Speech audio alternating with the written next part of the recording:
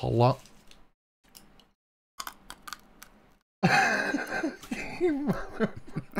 Why? I just want some candy.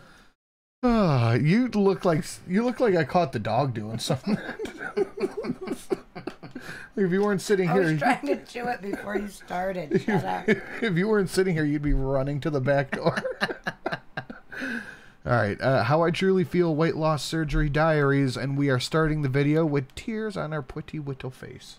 Oh, I thought she was Guys, super happy. so I feel like it's super important that I share this because I'm sharing all of my journey to get weight loss surgery. And Put your headphones in. I don't know why, but I just have this overwhelming She was looking at her Titanic, and that Celine Dion song was playing. fear because it's like Of I am getting weight loss surgery. Oh, uh, I am going to do put holes in you. anything I can and everything I can to have it happen. But like I'm scared and it's like last time you know, I had surgery and the only time I've had surgery was because I had cancer. I had a hysterectomy and it was scary and it was terrifying. And the anesthesia um, made my fa- my face swell a lot. Um, I think I had a really bad allergic reaction. I don't know. Um, they didn't really say You'll be okay because you will tell the doctor that, and they will use some other combination. They have more than one kind of anesthesia for people that have allergies to one or the And other. I'm pretty sure you would know if you had an allergic reaction to anesthesia because you would have not been able to breathe and all that stuff just because your face got swollen. I don't think that Yeah, this is a weird thing to be like. Oh, I'm, I'm super scared now. you dumped that. say anything about it. They actually said the surgery went amazing, but like, I'm having a little anxiety right now. Um, I know it's not Anxiety. We got anxiety, Anxiety. anxiety in the building. That's gonna be my rap name. It's gonna happen for a while. Like, there's a lot of things I still have to do, but like, just knowing that it is going to happen, it's just bringing up a lot of like past memories with like when I had my hysterectomy and But you were okay, and you'll be okay this time. Uh huh. You were. You'll be okay. Uh huh. The doctor said it went great, Uh huh. and you were okay. Uh huh. But anxiety. Anxiety. you know, things can me try to happen during surgery that are first. really scary, and that's just me being realistic. Um, not even pessimistic at all. Like I've been so optimistic about this whole experience, but Realist, realistic, pessimistic, and optimistic. I thought she's going to like the best surgeon in the country, who's the best, the best, who even has robots that do the surgery because he's so the best. So she should not be afraid of this. She's not going to some Tijuana doctor. You're the best. You're gonna be okay. when you start looking at like the reality of things and it's a little scary and it's a little daunting and I just I do have like a little bit of a fear and I just had a little You know what it is? She's scared that she's gonna blow through it like uh, a fat Republican. Christy. Yeah, Chris. She's afraid she's gonna blow through it like Chris Christie. I would No, be so she's terrified of scared. that I- too. I would- I'm, surgery's scary, but she'll be okay. bit of an anxiety attack. It was a mini one. I don't know. I just um I'm anxious. I'm anxious and I am impatient because I just want this to get over with. I just I wish that more than anything I could just snap my fingers and it's like 3 months after surgery. You know? Because I feel like 3 months after surgery like that'll be a really good spot. You know, I'm like healed, you know, I'm off the liquid diet. Um I'm getting Okay, I thought I could be sneaky and have this window open, but it's just It's a windstorm outside. it is quite the wind. the swing of things. I just have um, a little bit of fears, and that's okay, and that's normal. Like if you're getting weight loss surgery or it's something you're thinking of or whatever it may be, um, if you're scared, just know that it's normal, you know. And yeah, I just I don't know. It's crazy because obviously when people get surgery, it's to save their life. Is this pity party?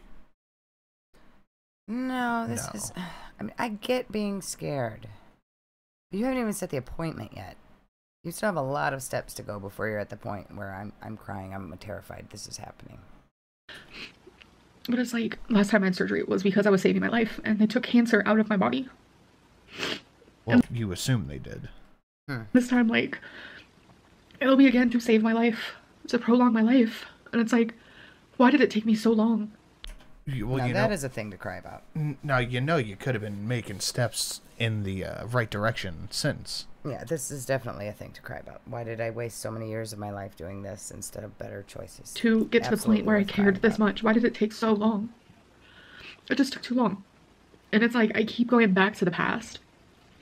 Like, you know, I like And now it, it what's what should be scary and terrifying is that this is literally your only choice now. Yeah. Because you've had years and years to prove you can change the way you eat, and you haven't. So this is it. Yeah, this is last shot, last chance you have. This I like to watch old no vid- other videos of mine. now. And it's like, I don't think I've ever seen myself this passionate over weight loss and how bad I want to live. No matter how hard this is and how many times I have to say no to bad foods and to overeating and to triggers, no matter how many times I have to say no to those things, it's all worth it. It's true. Like- As long as you're, you know, saying no. I feel like this is just trauma dumping on YouTube. You could you could write in your journal about this. This we did not need to turn on camera to, to film this. I think you're right. Like these these are completely valid feelings. But why are you putting this on YouTube? Like, I'm not perfect by no means. Like I'm not just over here like being the most perfect. Um, there has been one time where I didn't say no, and that happens. That's also realistic. But the changes I've made in the last few weeks, it just takes one day. It just literally takes one day for you to just be like, I'm fucking done. I'm done killing myself because that's what I've been doing, and I just regret more than anything it having to get to this point. I, I bet you do. Yeah, I feel it. I get it.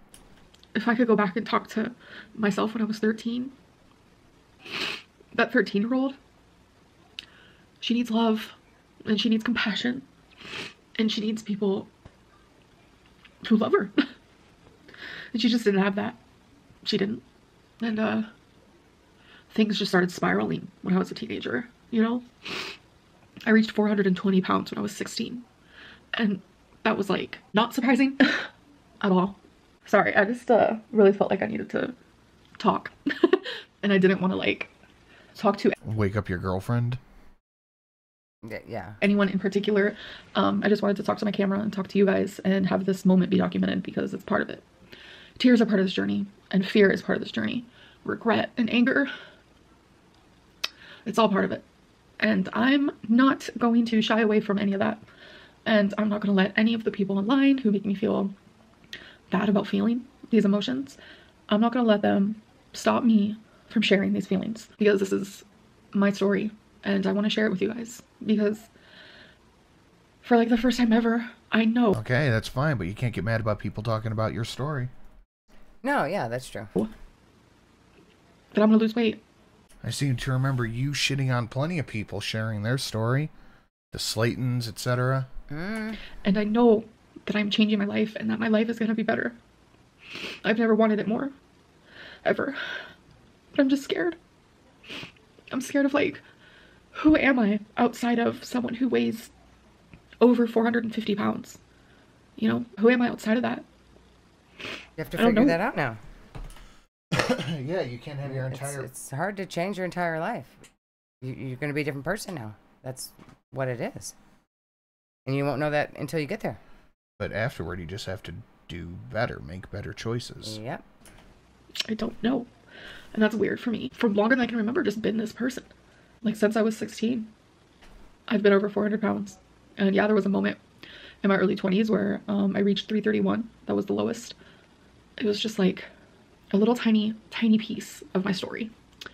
And um, it was because I was very unhealthy then. And it's like the way that I would eat then was very unhealthy. And um, I was practically starving myself for a little bit.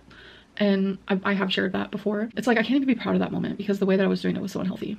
And Yeah, there are bad ways to lose weight. Mm-hmm. I was I was just in a dark spot and I can't even be proud of that moment. I can't at all. But I'm gonna be able to be proud of this one because I'm I'm doing it and I'm doing it right. And All right. I'm doing it for me. I'm doing it because I love life and I love it's not even like the big things. It's not I love lamp. I love desk. Brooke, are you just naming things in the studio? I love lamp. not even like I love love and I love family and I love my fur babies, but it's like small things. I love blankets and music and fireworks and holidays. Like I love the small things. And I just don't want my life to stop. Okay, you're losing me here. I don't It's an after school And- special here. I also don't want it to continue with me being this unhealthy. I know I can fix this. I know I can change this and yeah. I don't even know if I'm gonna upload this actually. if you guys see this, then I decided to. Anything she uploads, if she records five minutes of footage, it's getting or five seconds of footage, it's getting put in the vlog. Probably. It's yeah. getting put up on YouTube. This is a nine minute rant. This is going up on its own. Run mid rolls on this bad boy. Yeah, this is something I would have left off. I mean, I get she wants to share the thing, but she's getting a little overboard with it now. Upload it. And again, I just want to make it clear I am not knocking the hustle. I'm just letting you guys know the thought process. Yeah. Obviously, duh. My face is breaking out. Topic change. We're here. We're here. We have a little something here. Right next to. I used to have my um, lips pierced. I had snake bites, which was a piercing here and a piercing here. And it's Okay, we're much. My psychologist appointment is actually coming up. Um, I'm going to be evaluated, and I'm really, really nervous but excited to get this over with because I feel like they're to really tell me like what I need to do to help appear. I just want to do whatever they tell me. Really. I think I'm gonna put on, I don't know, some YouTube or something and do some more Legos and kind of just um, have a good rest of the night. Um, Felina's actually currently sleeping. No, she can't hear me. She actually has um, Sister Wives playing um, while she's sleeping. So I don't know if you guys can hear that in the background, but she's on the other side of the apartment. Um, she can't hear me at all. But yeah, I didn't want to like wake her up and like bombard her with my tears. I actually feel so much better after talking to you guys. It's so crazy how just like talking to you guys You guys. So it, it talking was to you guys. She's literally talking to herself. it was a trauma dump. it can it just helps a lot. It's just like I felt super heavy in my chest with emotion and Uh huh. Mm. Mm. Shut up. I told you guys those emotions, so now I feel better. So thank you, thank you for uh, listening to me and for being my friends. You didn't have to click on the video, and Thank you you did for because you wanted to hear me my and what I had to say. I think that's also what makes it easier is because like I don't I'm very I used to be such an open book with people in my life and now I just like I keep a lot of things to myself and I don't know what it is. I just I don't want to burden people. Thank you You can tell me 500 different times that I'm not a burden and I just I still feel like Ah. one trauma no. Um but it's like if you guys click on my video you can You would see the biggest gift would be from me. here yourself. So i don't feel like a burden. Does that make sense? Because you guys are choosing to listen to me? I don't even know what i'm saying anymore. Um it makes sense in my head. and i used to do a lot of like video diaries like when i first started youtube like 2014 style. I started i started youtube in 2013 but 2014 i used I have no I had no clue what she has said.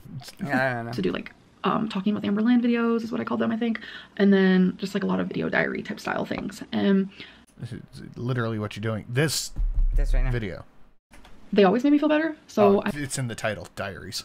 Might get back into that if you guys are interested. If I just feel like I need to talk and I don't want to particularly talk to anyone in particular, I just kind of want to like document how I'm feeling. So it's kind of like a video diary. We can start a series. we can call it the weight loss surgery diaries. Um, so if you see that in the title, then I decided that. But if you don't see it in the title, then I thought that was a stupid it idea. it's a stupid idea regardless. Or is it a stupid idea? Why am I so mean to myself? That's a whole other story.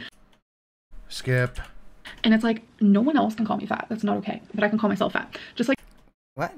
No, you've called other people fat, Amber, so you kind of threw that opportunity No- away. there's nothing wrong with acknowledging reality from anyone.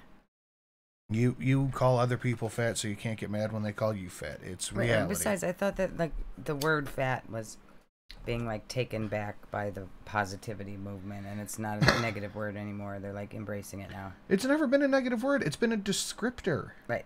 like no one else can make cancer jokes. But if I want to make a freaking joke about an experience that I had uterine Yeah, cancer, Amber, you don't run a monopoly on cancer jokes, fat jokes, or any of the above. Just you got to let that go. Right.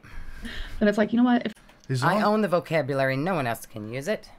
It- it- it- unless you're going ha ha is stupid got cancer fat cancer. Nah. yeah that's that's not nice it's not fun you probably shouldn't say that so just to be clear you probably shouldn't go around saying hey hey ha ha stupid cancer but no you you, you can make a cancer there are hilarious cancer jokes They're hilarious. Everything jokes. Literally everything can have an hilarious joke, and it's the that it's There- a joke that makes it okay. there's a difference between making a joke and making fun of somebody and i don't think amber sees the difference No, everything making- she takes personally. feel better, do it. But it's like I, other people can't do that. That's rude and offensive.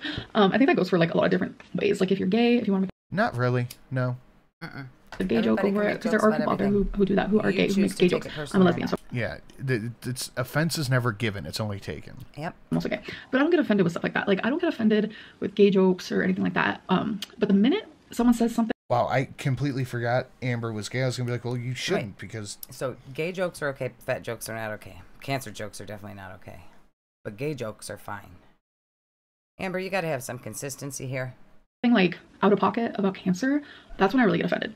Or if people like call me fat, then I'm like, "Mm, that's not really okay. Just because I do it to myself does not mean that you can do it. Like it's crazy um, I nobody says anything about you. You haven't said about yourself because here. so many people are like their own worst enemy and they call themselves ugly. It's like everyone I know thinks that they're ugly. And I'm like, bro, you're not ugly. Like everyone I know. And it's like they sit there and call themselves ugly. But like, is it okay if someone would call them ugly? Like, no, it's not okay. Yeah, at a certain point, if your friend at 35 years old is like, "Ugh, I'm so ugly, at a certain point, after hearing it for the 18th time that week, you're gonna be like, yeah, you're fucking ugly. Shut up. I mean, yeah, probably. Okay, yeah, you're ugly. Fine. Shut up your stupid ugly face. Like just because you can make jokes about yourself or you can think things about yourself, um, doesn't mean that other people can do it to you. Um, because in the past I have seen that like in my comment section. We're like, well, you call yourself fat, so why can't we? What? That's not how life works. That's not how it goes. That is literally That how is- life I mean, works. this is America. We have freedom of speech. We can literally say anything we want to Okay. anybody, anytime. Don't catch you slipping up. It's, it's also just like a respect thing and just like morals. No, we're Okay. not singing again. Stop. What, what did Scribe call me? The autistic jukebox? Yes, I'm that's rambling. accurate. Wow. Um, ramble diaries. Should we call this? No, I'm definitely gonna call this the weight loss surgery diaries or something to that effect because, like, I, I do my weigh-ins. You guys have been seeing that where that is like strictly, you know, my five questions and then the weigh-in Don't for the week, make and then I do vlogs. Gray. It's inappropriate. It's offensive to trans cats. vlogs, which you guys have seen those as well. And I talk about Furries are very offended. Sam is somewhere seething. I've got a lot of weight related stuff within my blogs, also uh, weight loss surgery stuff. But like, if I just want to sit down and just word vomit about how I'm feeling or weight loss surgery, like that type of stuff, then we're gonna call that a weight loss surgery diary because, in my opinion, this isn't a vlog, this isn't a weigh-in, this is just feelings and rambles and a lot of stuff that just Razorfist rant. probably doesn't even need to be put online. But it's it's this is what makes me feel good talking to you guys, and I just feel so much better. As you guys can tell, like I was crying when I started this video. You guys should have seen What? I couldn't tell. me before I turned on the camera. Like I said, I had a little mini anxiety attack and I was just having all these like thoughts and it was a lot. And now my eyes are dry, my cheeks are dry, and I have a smile on my face. And talking to you guys helped with that. So Okay, we're done. Good. Ah, boy. Guys, do the thing, the like, the share, the whatnots. If you don't, I'm going to find it incredibly offensive and I'm calling the police. Thank you.